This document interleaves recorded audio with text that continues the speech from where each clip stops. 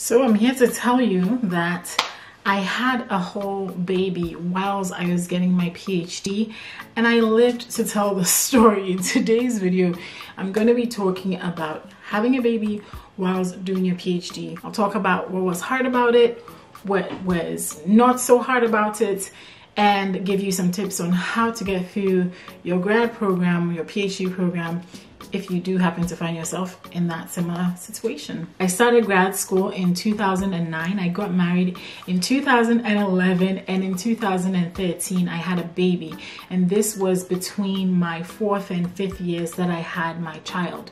Now, um, I want to first of all say that I had an amazingly supportive PI or principal investigator um, as we call it in the US, advisor in other countries.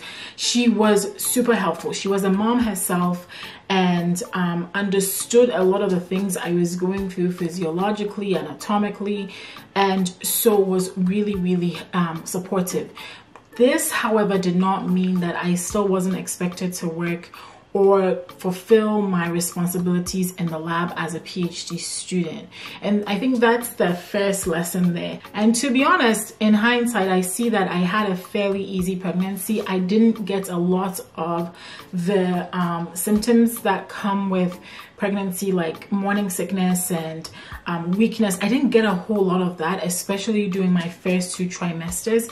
And even in my last trimester, I wasn't till like the last month that I was really tired and really and really big, you know, really, really pregnant. That was when I really felt the pregnancy. So for the first like six to seven, almost eight months, I was fine. And so this allowed me to continue going to work normally. The thing though that I would notice was that I, I, I got sleepy a lot. And so when I would try to read papers, I, I'd, you know, I'd fall asleep. And, you know, this is, if this happens to you, I just want to assure you that you're not alone. Like, it's not because you're being lazy. It's really a thing. okay. So don't be so bugged by it. One of the things that I really, I did that I know helped me is I planned things out.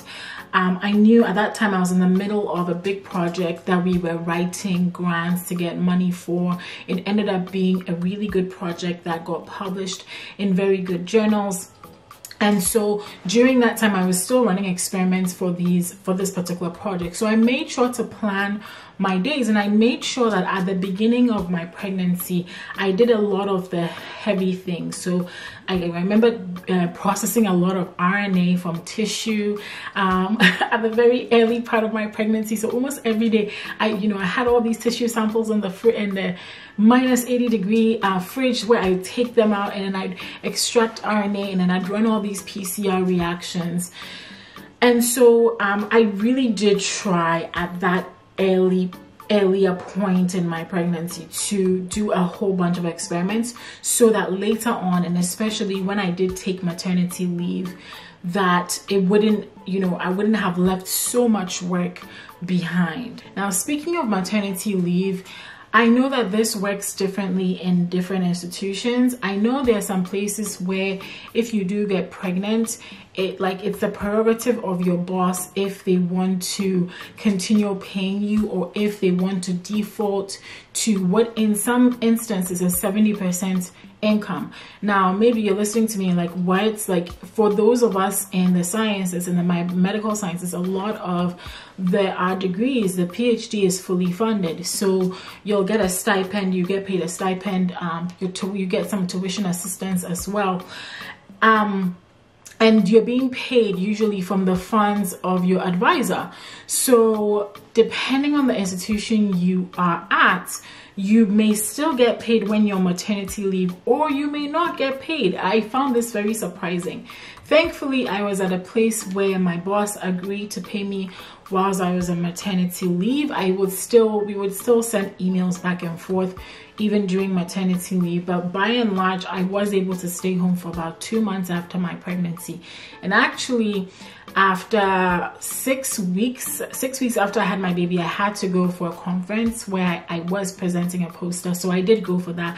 And to be honest, at that point, I was just, I was really kind of ready to, to leave the house because all I had been doing at that point is being pregnant, having a baby, changing diapers. So I was kind of ready to go out there and do something else. So going to that conference was no biggie.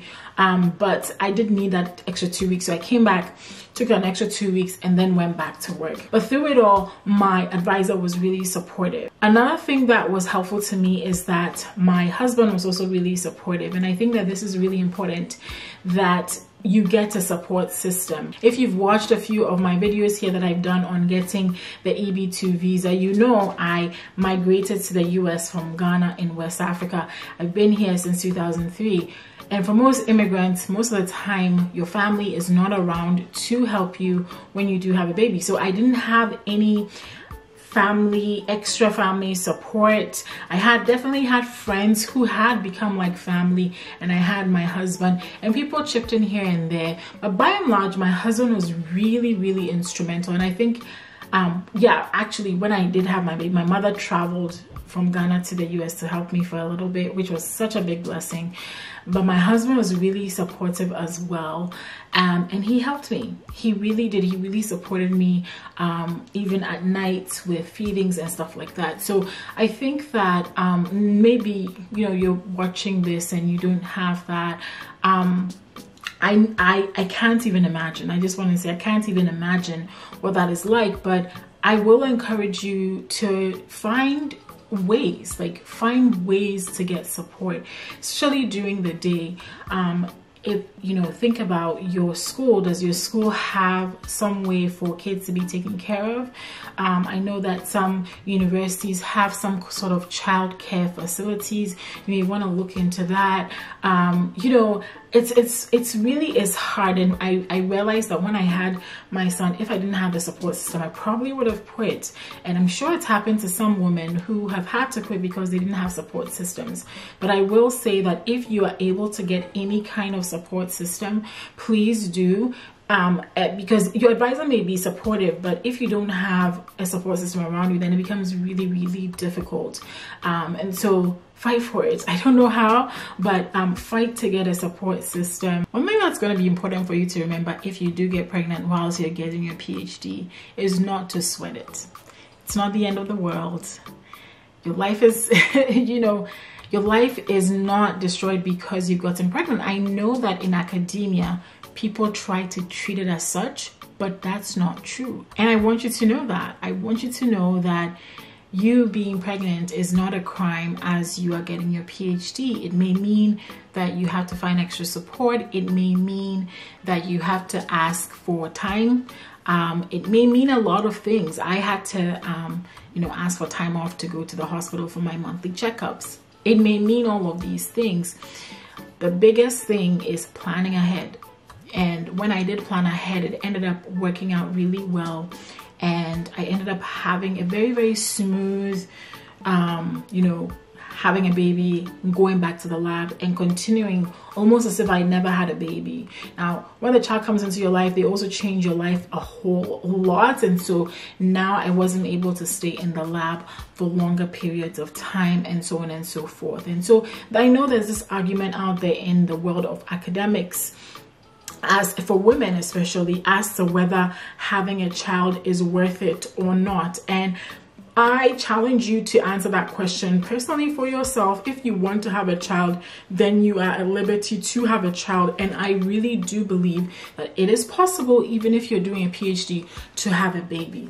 If you really do think that having a baby at that time is not going to um, be helpful for you because you want to concentrate on your degree and finish that, then do that. But I do know that things do happen. And when they do happen, you know, um, I believe that you take things in stride and realize that it's not the end of the world and not to sweat it. There is there is help out there and you can get it. So that was my experience and I just wanted to share it um, with you. Um, let me know in the comments below, have you had the experience of being pregnant and being in grad school or are you currently pregnant and in grad school or have you been thinking of starting a family while in grad school?